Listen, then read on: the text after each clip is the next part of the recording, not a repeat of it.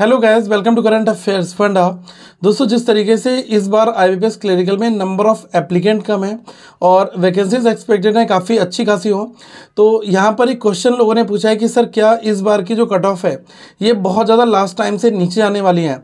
अब ऐसा question obviously लोगों के माइंड में इसलिए आता है कि अगर कट ऑफ़ नीचे आएगी तो मैं कुछ अटैम्प्ट कर कर आ जाऊँगा, तब भी मेरा प्री क्वालिफाई हो जाएगा।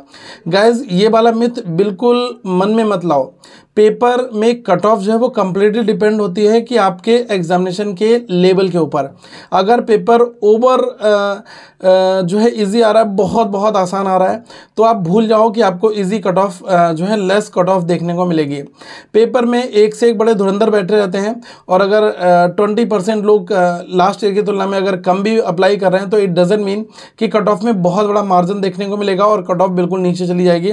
तो आप अगर हंड्रेड में से फिफ्टी बनाकर आ रहे हो, तब भी आपका सिलेक्शन हो जाएगा। ऐसा मिथ माइंड में मत डालो। आप ये सोचो कि इस पेपर में अगर इजी पेपर आएगा तो जो कट ऑफ़ है, वो हमें अच्छी खासी हर एक स्टेट में बढ़िया कट ऑफ़ देखने को मिलेगा। अगर लेकिन पेपर टफ आएगा तो वहीं पर कट ऑफ़ में एक बड़ा डिप देखने को आपको मिलेगा, ठीक है? देखो पेपर जब टफ आता है ना, तब वहाँ पर असली मायने में जो रियल एस्पेरेंट है, वो बाहर निकल कर आता है, ठीक है?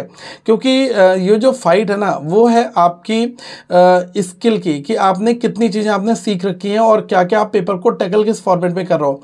जब पेपर ईजी आता है तो इस चीज़ को मेज़र हम नहीं कर पाते, ठीक है? बहुत सारे लोग जो हैं पूरे पूरे अटैम्प्ट बना लेते हैं, आसान क्वेश्चन की प्रैक्टिस अगर आपने कर रखी है तो इसमें कोई बड़ी बात नहीं है, ठीक है? लेकिन आप ये मानकर जाओ कि कट ऑफ़ का कोई भी लेना देना नहीं है अभी के लिए और मुझे अपना हंड्रेड परसेंट देना है that is the only solution for you अगर आप आगे मीन्स में अपना सिलेक्शन देखना चाहते हैं, अगर आपने ये मिस्टेक कर दी तो फिर आप गाइज़ एग्ज़ाम से बाहर हंड्रेड परसेंट आपको कोई बचा नहीं सकता।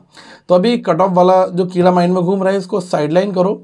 बेटर है प्रैक्टिस करो, जो भी टाइम एक दो दिन का और बचा हुआ है और अपने जो वीक पॉइंट्स हैं, जिसमें जितना काम कर सकते हो, उतना काम आप करके जाओ।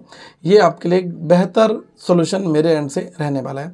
Thank you so much guys have a good day to all of you once again और चैनल को सब्सक्राइब कर लें, जिससे आपके पास हर एक अपडेट वीडियोज़ का आता भी रहे।